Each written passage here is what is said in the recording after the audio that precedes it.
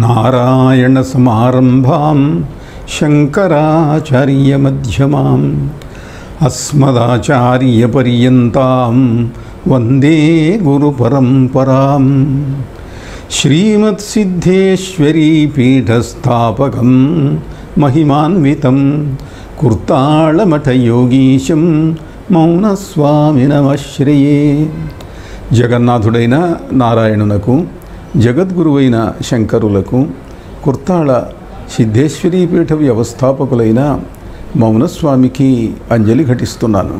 శ్రీ సూక్తంలో లక్ష్మీదేవిని గురించిన అద్భుతమైన వర్ణన ఉన్నది. అయితే ఏమిటనంటే దాంట్లో మొట్టమొదట ప్రారంభించంగానే అగ్నిదేవుణ్ణి ప్రార్థించారు. హిరణ్యవర్ణాం హరిణీం సువర్ణరజతశ్రయాం చంద్రాం హిరణ్మయీం లక్ష్మీం జాతవేదోం ఆవహ ఓ అగ్నిదేవుడా లక్ష్మీదేవిని పిలువు లక్ష్మీదేవిని ఆవాహనం చెయ్యి అని అగ్నిని ప్రార్థిస్తున్నాడు. ప్రాచీన కాలంలో అగ్ని అనేటువంటిది విప్రులకు ప్రధానమైన దేవత. పొద్దున్నేస్తే హోమం చేయాలి హోమం చేయకుండా ఉండకూడదు. అందుకే మామూలుగా గృహస్థుకు యజమాని అన్న పేరున్నది మన సంప్రదాయంలో. యజమాని అని అంటే యజ్ఞం చేసేవాడు. ఇప్పటి వాళ్ళందరూ యజమానులు గారు గృహాధిపతులు గృహాధికారులు వీళ్ళు యజమానులు గారు. యజ్ఞం యజమాని అంటే యజ్ఞం చేసేవాడు. అట్లా యజ్ఞం చేసేవాడికి అగ్ని ఉండేది. ఏది కావాలన్నా అగ్ని. ఆహవనీయంబును దక్షిణాగ్నియును నీయందుద్భవించున్ క్రతూత్సవ సంధాయక నన్ను కావగదవే స్వాహావధూ వల్లభ అంటాడు అల్లసాని పెద్దన గారు ప్రవర పాత్ర చేత చేయిస్తాడు. అన్నీ ఆయన ఇస్తాడు.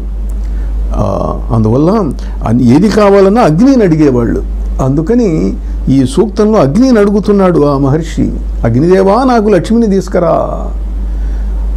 హిరణ్యవర్ణాం హరిణీం సువర్ణ రజతస్రజాం ఆ అగ్నిదేవిని ప్రార్థిస్తున్నాడు. అట్లా చేస్తూ అందులో లక్ష్మీదేవిని కూడా స్తోత్రం చేయటం ఉన్నది. లక్ష్మీదేవి యొక్క సంతానం గురించి కూడా దాంట్లో చెప్పబడింది. ఆనంద కర్దమశ్చైవ చిక్లీత ఇది విశ్రుతా. ముగ్గురు కుమారులు ఉన్నారు. ఈ కుమారులు ఎక్కడ పుట్టారు? వైకుంఠంలో పుట్టారా? అంటే వైకుంఠంలో పుట్టలేదు వీళ్ళు. వైకుంఠంలో విష్ణుదేవుడికి లక్ష్మీదేవి భార్యగా ఉన్నప్పుడు పుట్టినవాళ్ళు కాదు. అక్కడ విష్ణుదేవుకు లక్ష్మీదేవికి గ- గర్భంలో నుంచి పుట్టారా లేదా అనేది పక్కన పెట్టేసేస్తే బ్రహ్మదేవుడు విష్ణువు యొక్క కుమారుడు మన్మధుడు విష్ణువు యొక్క కుమారుడు ఆ ఇద్దరే దివ్యలోకాలలో. ఇది భూమి మీద వచ్చింది. భూమి మీద ఎప్పుడు లక్ష్మీదేవి అని అంటే భృగువునకు కుమార్తెగా పుట్టింది ఆవిడ భృగు మహర్షికి.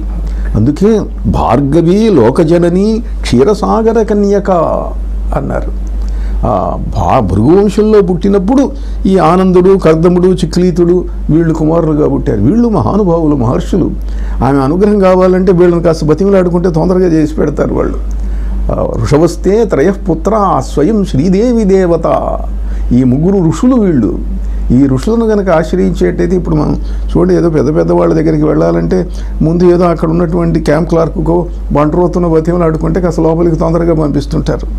అట్నే ఈ మహర్షులను కనుక ప్రార్థించేటట్లయితే వాళ్ళు తొందరగా అనుగ్రహించి ఆ లక్ష్మీదేవి యొక్క అనుగ్రహం వచ్చేట్టు చేస్తారు. గనకనే శ్రీ సూక్తంలో వాళ్ళ పేర్లు కూడా స్మరించటం జరిగిందన్నమాట. ఇట్లా దాంట్లో అలక్ష్మీర్మే నశ్యతాం త్వామురుణే ఆదిత్యవర్ణి తపసోధిజాతో వనస్పతిస్తవ వృక్షోధ బిల్వ. అక్కడ బిల్వ వృక్షము యొక్క ప్రాధాన్యాన్ని శ్రీ సూక్తంలో ప్రత్యేకంగా చెప్పాడు. బిల్వ వృక్షం అంటే శ్రీ వృక్షం. శ్రీ అంటే లక్ష్మి. శ్రీ అంటే బిల్వం. మారేడు దళం. మారేడు దళములతో గనక పూజ చేస్తే హోమం చేస్తే లక్ష్మీదేవి అనుగ్రహిస్తుంది తొందరగా. ఎందుకంటే అది శ్రీ వృక్షం కాబట్టి. ఆ బిల్వ దళాలకు చాలా ప్రాధాన్యం ఉంది. సర్వరోగ నివారిణి బిల్వం. బిల్వ రసం ఆకులను కనుక నూరి రసం తీసుకునేటైతే చాలా వ్యాధులు పోతాయి. అట్లా మారేడు దళాలు మారేడు దళాలు హోమం చేసేటప్పుడు అయితే మారేడు చెట్టులో పనికిరాంది లేదు. ఆకులు పనికొస్తాయి. ఆ పుల్లలు పనికొస్తాయి. కాండం పనికొస్తుంది. పండ్లు పనికొస్తాయి. ఇట్లా బిల్వము శ్రీదేవి యొక్క సంకేతం అది. తవ వృక్షోధ బిల్వ అది నీ చెట్టు అని చెప్పి దాంట్లో మహర్షి చెబుతున్నాడు. ఇలా ఆ లక్ష్మీదేవిని గురించినటువంటి ఆమె ఇష్టాలు ఆమె పిల్లలు ఆమె యొక్క లక్షణాలు ఇవన్నీ కూడా శ్రీ సూక్తంలో చాలా అద్భుతంగా వర్ణించడం జరిగింది. నారాయణ నారాయణ.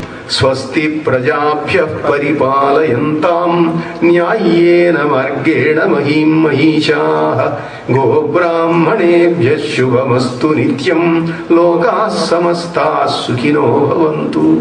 నారాయణ నారాయణ.